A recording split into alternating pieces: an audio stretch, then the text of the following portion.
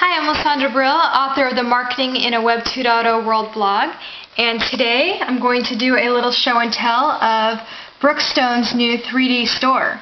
I had to download a quick um, Kinset browser required to, to view the store. Um, didn't really take too long, wasn't a big issue.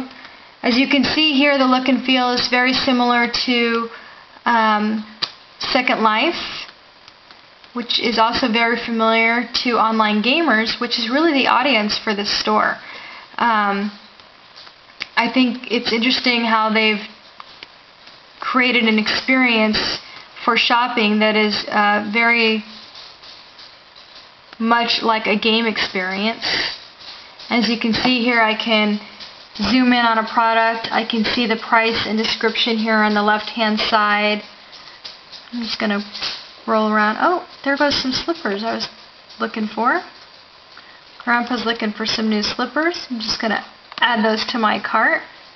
You can see here I've added that to my cart. You know, with 25% uh, of IT professionals going online just to play online games, this doesn't seem like a bad investment for Brookstone. But we'll see um, pretty soon if it was an investment worth um, giving them the return that they're looking for. In the meantime, this is LaSandra signing off to finish my shopping. Hi, I'm LaSandra Brill, author of the Marketing in a Web 2.0 World blog, and today I'm going to do a little show and tell of Brookstone's new 3D store. I had to download a quick um, Kinset browser required to, to view the store. Um, didn't really take too long, wasn't a big issue. As you can see here, the look and feel is very similar to um, Second Life, which is also very familiar to online gamers, which is really the audience for this store. Um, I think it's interesting how they've created an experience for shopping that is uh, very much like a game experience.